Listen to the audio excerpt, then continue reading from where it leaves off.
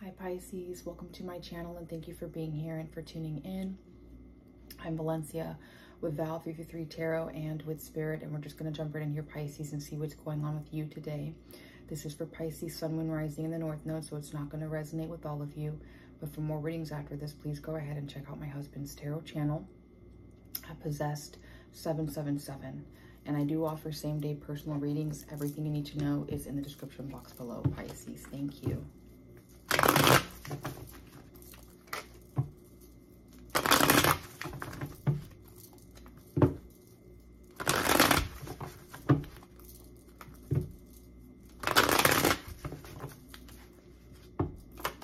All right, Pisces, I'm going to get all the cards out first and then I'll tell you what I see.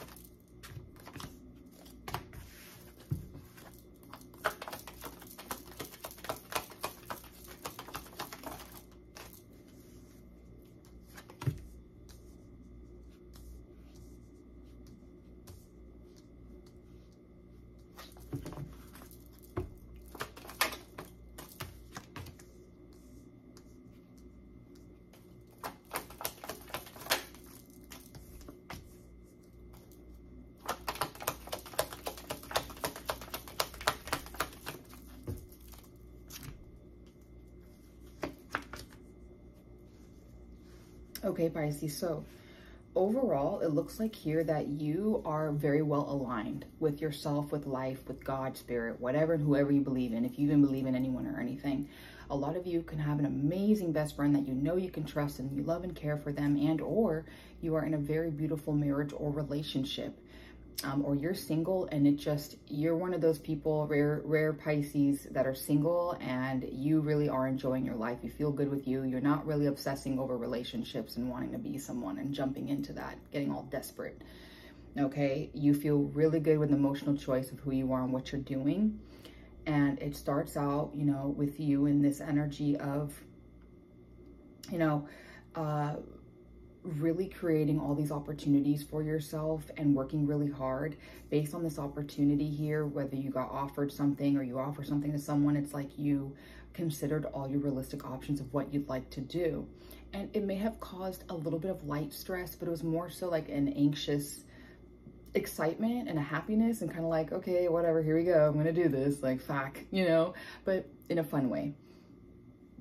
And, you know, meanwhile, you plan and you're very patient and you're waiting. And while you're waiting, you still do things to take care of yourself and plan for certain things while you're waiting for a lot of good things and fun things coming through. And while you're waiting, it looks like you're reflecting here on a lot that's been going on in your life and maybe about your career path, jobs, or who you work with or collaborate with. It looks like you jump right into getting back to work, doing what you need to do here for yourself, okay? Now, right away, I will say, there's either you have a coworker who is obsessive and pissy and shitty over you, your own mom or dad or parental family figures that are toxic and dysfunctional that are trying to deal with you, or maybe someone you recently divorced or an, like an ex. So either or, okay?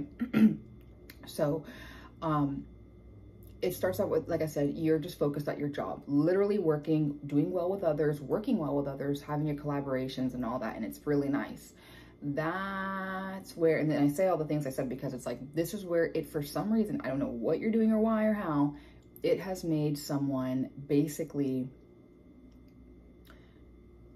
uh, I don't know. Did they fail at their job? Are they not succeeding? It's like, are they trying to be greedy and get recognition and success out of you or through you? Are they trying to get you to notice them? Like, I don't know here because they, it's like they're facing public humiliation or a bad reputation. One or, you know, one or two.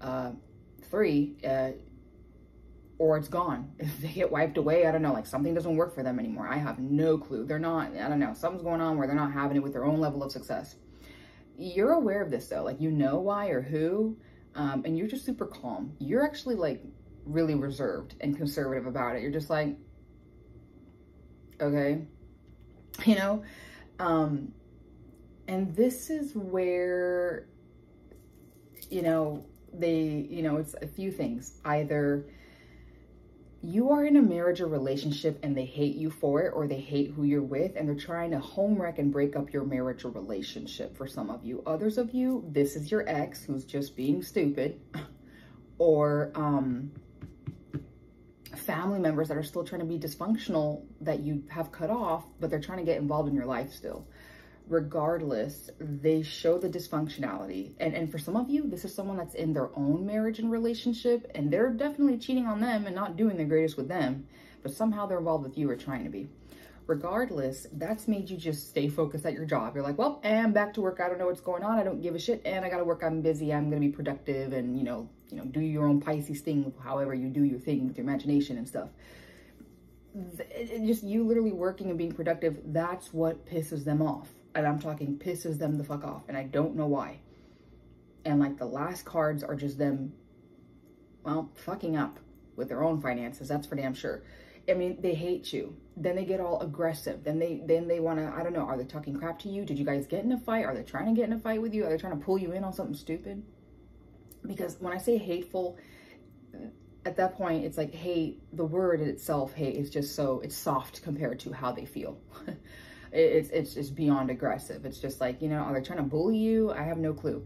Then you would think it makes them happy if they tried to, but it's like now they're more upset and pissy and moody and emotional. They don't know what's going on. They don't know what they're doing. They're very cold and manipulative and strategic.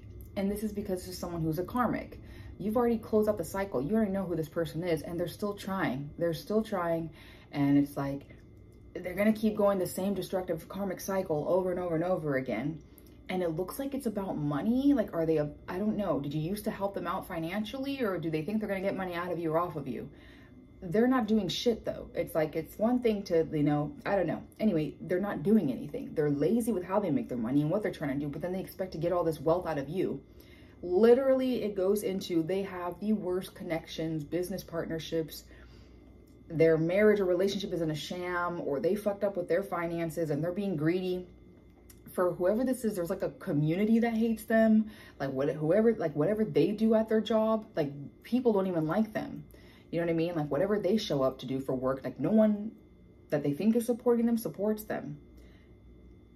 So I don't know. They like they're losing money. There's not enough, but then they think they can scramble and find ways to use you and other people, and you just you end it in your strength. You're like, ah, whatever. Well, it's not my fucking problem. So you could be dealing with a Pisces, Cancer, Scorpio, Gemini, Libra, Aquarius, or Aries, Leo, Sagittarius. Thank you. Bye.